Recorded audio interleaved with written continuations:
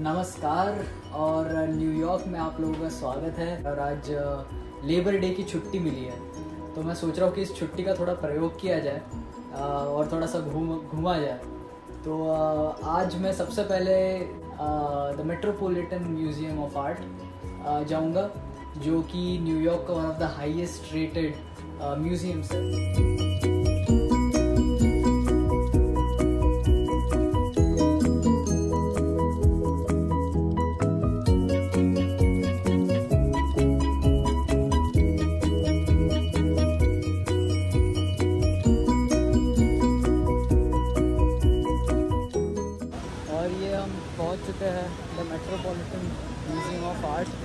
और यहाँ पे आज काफ़ी काफ़ी भीड़ लगी हुई है।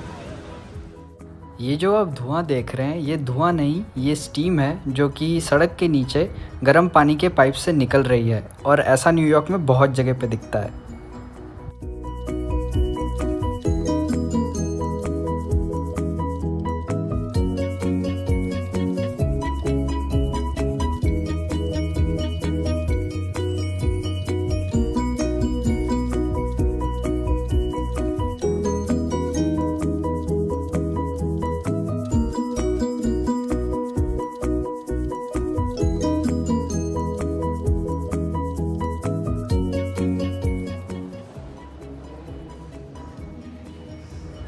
ओके तो the Metropolitan Museum of Art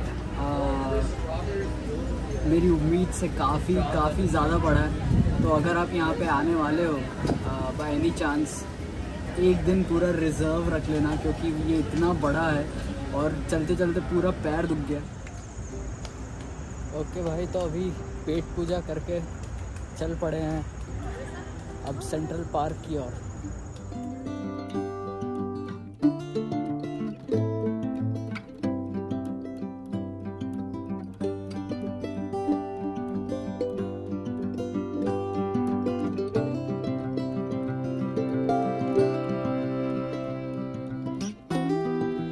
ये नई चीज़ पता चली कि यहाँ पे बोटिंग भी होती है। ओके okay, तो अभी मैं जा रहा हूँ बेथेस्डा फाउंटेन की ओर।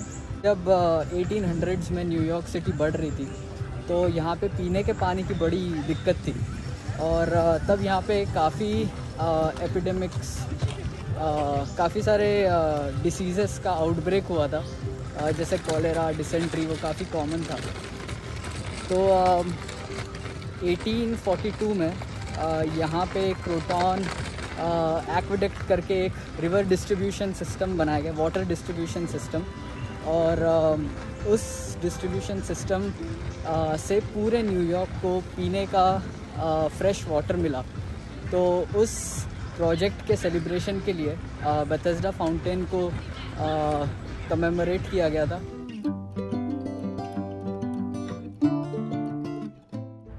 यहाँ पे एंजल के पैरों के नीचे से पानी निकलता है, जो ये सिंबलाइज करता है कि एंजल न्यूयॉर्क को फ्रेश वाटर प्रोवाइड कर रही है।